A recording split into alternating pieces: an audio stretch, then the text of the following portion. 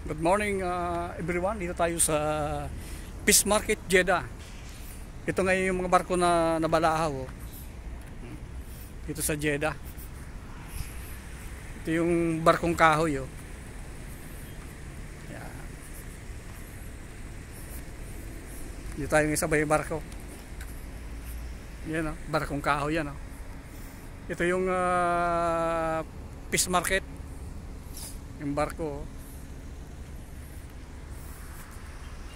Ito yung sila si, si, lumang barko dati oh. Kahoy.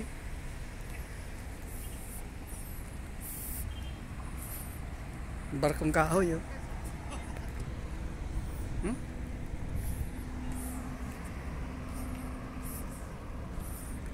Ito maraming isda dito. Dito sa gilid, tingin mo yan oh. Maraming isda dyan oh. Maraming isda.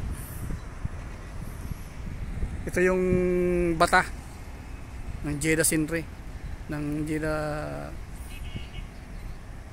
yung sentro ng Jeddah yun. Yan. Yan o, yun na yung barko. Yan ang fish market. Ito si Sadik may isda. Isda Sadik, pisamak Mapi, mapi samak? Sabi? Pina? Mapi? Wala daw isda. Ito yung barko. Ito yung barko.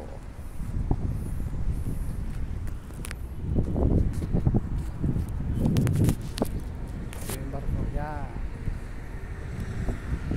Barko.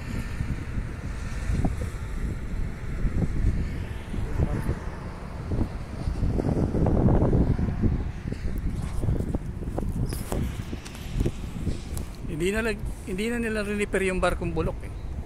Kaya siya purong kahoy. Dito sa fish market. Kahoy.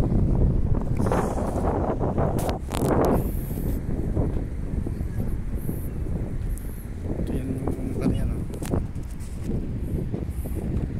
Yun yung kagandahan ng Jeddah. Yung yung nakita mong tower na yan, isa sa mga isa sa mga gumawa niya yung mga taga yung taga-amin na engineer. Si Kuya Lot Casquillo nung 1980 sila gumawa dati niyan eh.